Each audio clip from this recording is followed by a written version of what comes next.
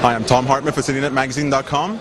We're here at day two of Montreal Comic Con 2012, and we have the pleasure of being at the Orphan Killer booth. No, it's not what, what it sounds like. It's a fantastic movie, and we're here with the uh, the cast and crew. So uh, we're here with uh, with uh, Matt Matt. Yeah. How's it going? It's going good, man. How are you? Pretty good. So tell us a little bit about this movie. It's an award-winning film. Uh, it's a slasher film, traditional style, all practical blood effects. Uh, just banned in Germany, like the original Texas Chainsaw, Evil Dead. It grew to fame on Facebook really quickly. Became like a viral phenomenon. There's 155,000 fans, right? Yeah, yeah, it is. It's, it's just it's an explosive film. You know, everyone, every studio was after it and after buy it, but it's so popular. We've kept it ourselves. Been on magazine covers, Shock Horror, Scream Magazine. You know, it's been a really great run for us, and uh, we're looking to make you know more films. Uh, it's, it's just a great slasher film, man. Perfect. Yeah. So let's get a little bit from you. Uh, you're both inside the movie, right? Uh, may I have your name? Hi, I'm Diane Foster.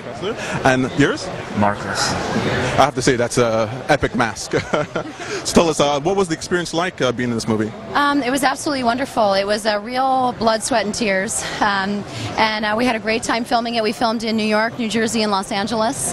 And um, we're here at the con to bring the uh, movie to all the fans. Uh, the film was just banned in Germany, so like the original Texas Chainsaw. And um, we're really excited about it. So how does it feel uh, walking around as a, as a murderer? It feels good. There's a lot of potential here. Is it, uh, is it hot in that mask? Not at all. Not at all. Perfect. So have you uh, both ever acted before?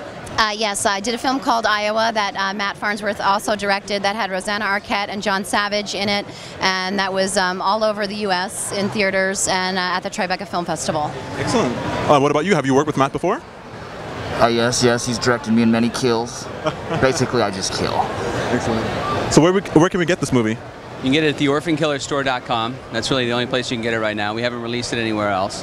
We're about to hit the uh, in the U.S. The Mask here is about to hit 2,000 stores. Wow. It's being released by Tony Zagone. So, like I said, it's really a, a popular film. You know, people love it. It's got you know reviews are off the hook uh, in terms of horror fans, slasher fans. It's they're, they're all calling it like the new icon of the 21st century in terms of slasher.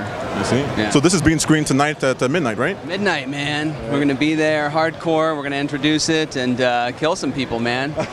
Well, we'll definitely check it out. Thank you very much for your time. Thank you. This is Tom Hartman for CityNetMagazine.com. We'll see you soon.